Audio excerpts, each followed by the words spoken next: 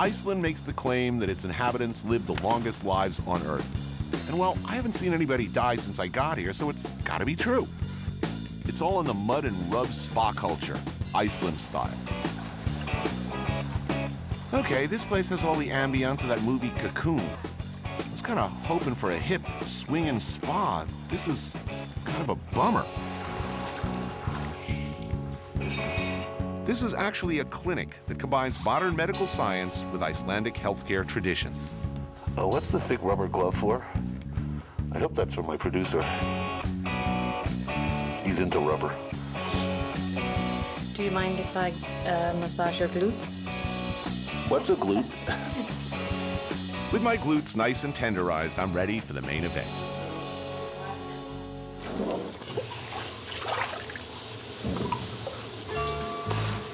Ah, okay. Slide in.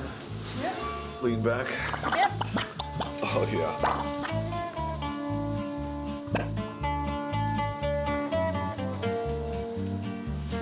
A certain element of trust is required in this operation. It's like this dried out, I would, it would be basically solid, wouldn't it? Yeah. You can see it in the other top.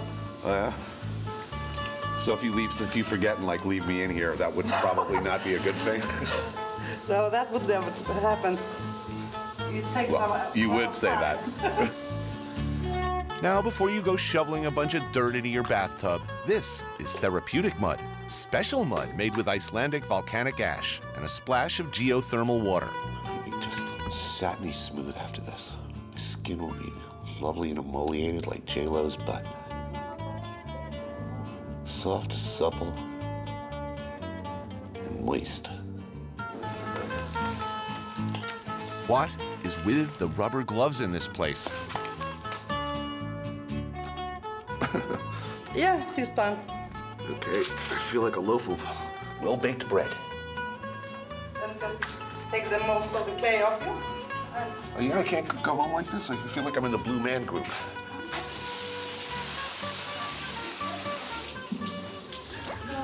Now I feel kind of like a Zagnut bar. Little crunchy, little bits in inappropriate places.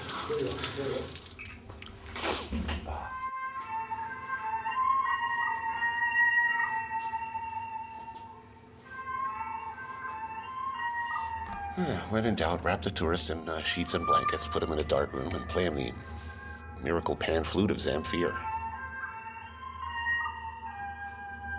Here's mud in your eye, and up your.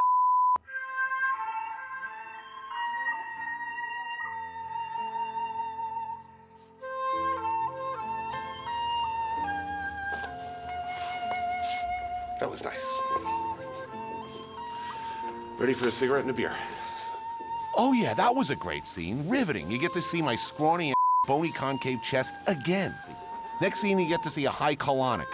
Hey, maybe you'll get to see me clean a bedpan. healthy, organic, and pure. You'll notice, by the way, anytime you hear the word purity come up too often in conversation, the sound of jackboots can't be far behind.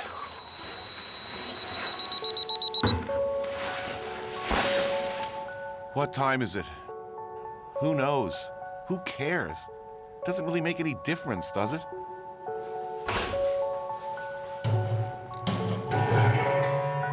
That's not good. I will not deny that the lack of sunlight alters one's state of mind. Which may explain the fact that 80% of Icelanders accept the possibility that elves, gnomes, and pixies exist. Now, I'm not a huge fan of many traditions, but Iceland does have a little social activity that's key in surviving the winter. It's called Runtur. A marathon bar nightclub crawl that's a Saturday night must. Now, this is a tradition I can get behind. You gotta start downtown. Up all night and drinking. I can do that. Yes, I'm good at this.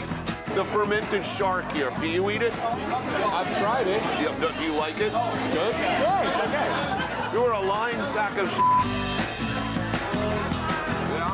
This guy's telling me the shark meat's alarming taste has something to do with the high concentration of waste product in the animal's tissue. So it's basically marinated in urine, that's what you're telling me? Ah, That explains the taste. The chefs at the hotel have put up some kind of announcement on the National Chef website. So every culinary guru, chef, and cook seems to have shown up to get hammered, gossip, and behave badly. Hey, there's my old friend Siggy from Vox Restaurant. And there's Bjorn. And hey, there's John, the Thorrablot guy. The sheepheads were too much for me. After hauling fermented fish and testicles out of vats of acid all day, I'll bet he needs a drink. America. Or seven. Goodbye, America. Yeah. Oh, yeah, he's looking fresh. Siggy may work at one of the best restaurants in the country, but he knows where to find the good stuff after a few cocktails. Well, you work at the best restaurant in Iceland. But Yeah. what's the most popular The restaurant in popular Iceland? restaurant is probably the, the, the hot dog place. Ah, yes, in the midst of a heavy night of drinking, I'm glad to see that even Icelanders seek out the comfort of the good old hot dog. I gotta have one with what? With what? How do, what do I say? I want a hot dog with everything.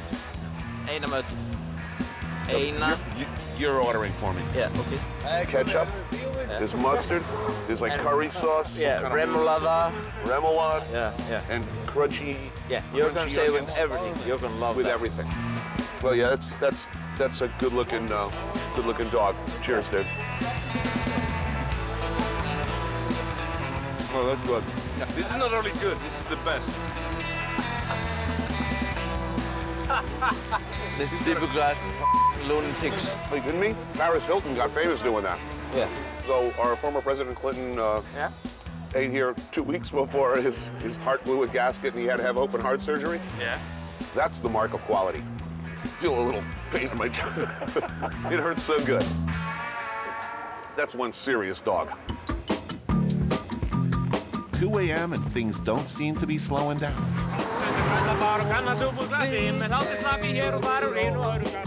If I haven't met you already, hey. So do all the chefs in Iceland know each other? Pretty much, you know. Hey guys, don't you know the guy? Alain Boudin. Well, close enough. In case you haven't noticed, people like to drink in this country. What's up, man? Alain. For example, this guy. This guy likes to drink in this country. So I kind of lost count of bars at this point. I, I get the general impression from my fellow solid citizens it's going to be a long, long, long night.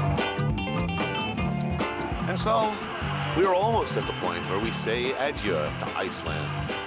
Let us only hope. The last scene of this show is not me curled up in a shivering fetal position on a cold tile floor.